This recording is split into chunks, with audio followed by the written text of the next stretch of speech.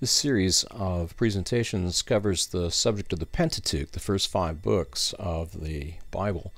And uh, this one, number three, focuses on the book of Leviticus.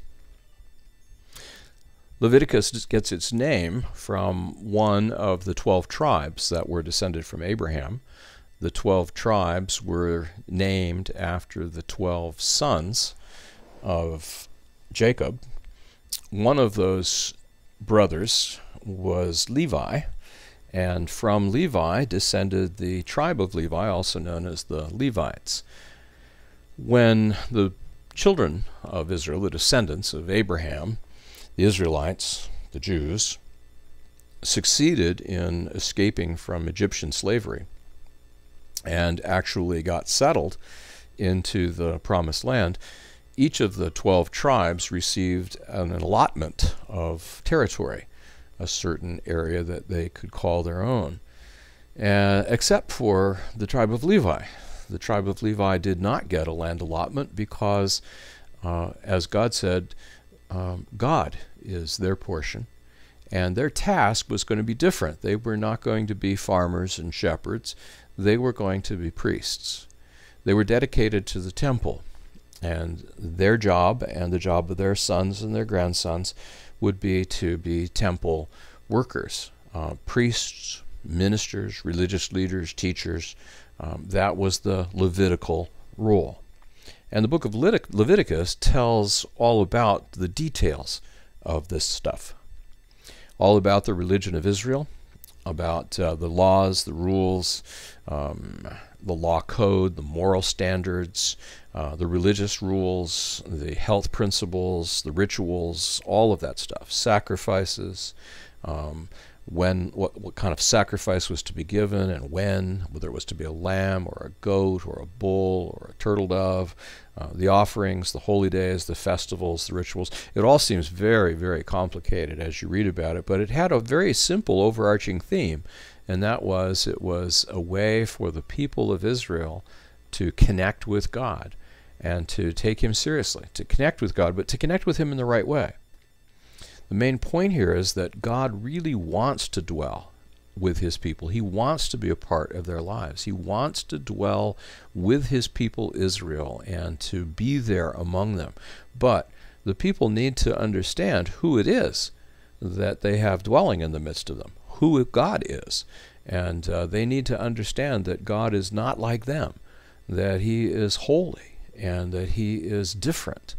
And so um, all of the rituals and stuff that went along with Leviticus was designed to help the people to recognize the otherness of God and to approach him in the right way and uh, to receive from him what they needed in terms of salvation and forgiveness and redemption and connection and cleansing and new beginning.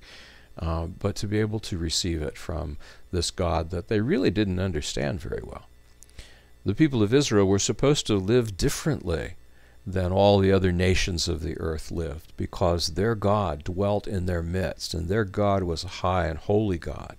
He didn't uh, he wasn't the kind of God who uh, liked it when people got drunk and went on a wild religious rampage. He wasn't the kind of God who liked to be worshiped through prostitution in his temple. Um, he was the kind of God who was highly ethical, who was very um, loving and gracious, but at the same time uh, very clear about right and wrong. Um, and and this whole distinction between what is good, what's bad, what's acceptable, what's unacceptable, what's clean, what's unclean, needed to be underlined continually. And the book of Leviticus was designed to make those points clear to the people by making them clear, first of all, to the priests who would teach them to the people. Um, one of the main elements in the book of Leviticus, not the only one, but a very instructive and illustrative element, is um, what it has to say about the Day of Atonement. The Day of Atonement was a once a year festival that took place uh, at the temple, and all the people of Israel were supposed to gather together and come to the temple, to the sanctuary, whatever they had, whether a permanent temple or the temporary sanctuary. And they were to gather there for this multi day festival. It was a solemn holiday. It was not the kind of thing that was, you know, a lot of um, hoopla. It was kind of solemn, sober, serious, more like Lent than uh, like Christmas or Easter. Um, it was a time for confession, a time where people quite literally would agree with God. That's what the word confession literally means to agree with God, to say the same thing as God. Uh, they would confess their sins, they would analyze their lives, they would look back over the past year and see how faithful they had been to God or not, and uh, they would seek God's forgiveness. Uh, a central element in the Day of Atonement festival was the the uh, ceremony, the ritual of the scapegoat. You've probably heard the phrase scapegoat. This is where it comes from. The scapegoat was a literal goat that um, would be brought before the priest, and the priest would uh, put his hands on the goat. He would lean his weight onto the goat, uh, you know, large man leaning on a small animal, and he would confess not only his sins, but all the sins of all the people of Israel onto the head of this goat. And then this goat would be taken out into the wilderness, far, far away, where it would never be able to find its way back again. And it would be released there, probably to die out in the wilderness. Uh, the theologians who have analyzed this and looked at it up and down say, yeah, this is, this is a great symbol of how ultimately uh, God is going to cleanse sin from every human being, from every human being's place. And all this sin is going to be sent out into the wilderness, you might say. And uh, not only that, but the devil, who played a role in all of this, is going to finally uh, get his just deserts for all that he has done uh, and become uh, the scapegoat for all the stuff that has taken place at his conniving. There were also in the festival of the Day of Atonement the offerings of some sacrificial, other sacrificial animals. For example, the sacrificial bull. Um, uh, once again, uh, the bull was sacrificed. Its blood was caught in a golden bowl. The priest now, the high priest, would do something remarkable. Uh, the temple was set up in such a way that any Jew could go into one courtyard. Only women I'm sorry, only male Jews could go into the next courtyard. The women were forbidden. Only priests could go into the next compartment. Even males could not go in, only if they were priests. And in the final interior apartment, the Holy of Holies, or the most holy place, only the high priest could go, not even an ordinary priest. And the high priest could only go in there once a year.